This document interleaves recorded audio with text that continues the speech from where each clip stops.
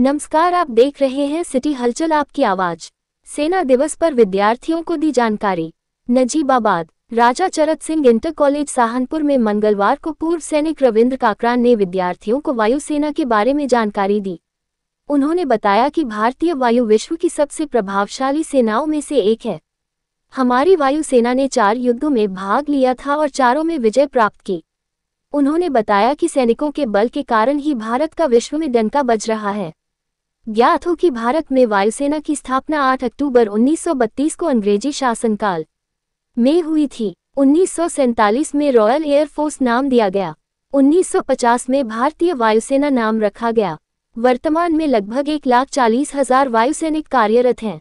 इसमें सात कमान व साठ एयर स्टेशन हैं। सबसे बड़ा एयर स्टेशन हिंडन है। वर्तमान में इसमें MiG Jaguar, Apache, Sukhoi, Chinook, Rafale सहित लगभग 1700 विमान हैं। इसके पहले प्रमुख अर्जन सिंह थे वर्तमान में अमरप्रीत सिंह हैं। वायुसेना का स्लोगन नब स्पृशादीप्तम है जो कि हैश गीता से ली गई है। इस अवसर पर प्रधानाचार्य सुरेंद्र कुमार प्रदीप कुमार धर्मेंद्र कुमार अरुण दीक्षित रजनीश सागर पदम सिंह राजेश कुमार चेतन स्वरूप नरेंद्र कुमार नीरज कुमार नसीम अहमद समीना परवीन रुखसाना मनीषा कुमारी। आठ अक्टूबर उन्नीस को की गई आठ अक्टूबर उन्नीस सौ बत्तीस को। तभी से हमारे यहाँ हिंदुस्तान में, भारत में वायुसेना दिवस मनाया जाता है।